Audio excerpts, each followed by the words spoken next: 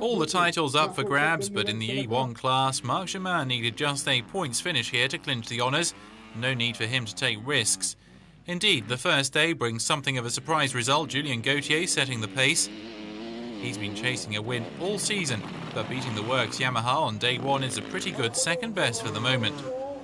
It's what he manages here, taking six of the nine specials on his HM Honda.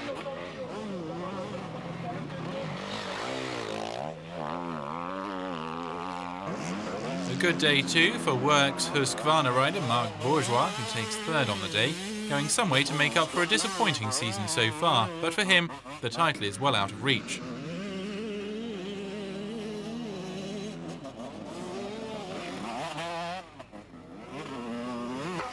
Marc Germain arrives back in the paddock on Saturday evening, even if it's a reserved display of emotion from this modest racer.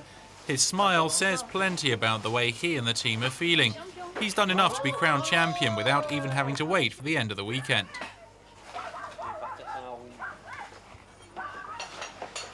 I think I deserve the title. I'm happy because the day didn't start that great. There were no guarantees. I think overall I've had a good season. I'm really happy for myself.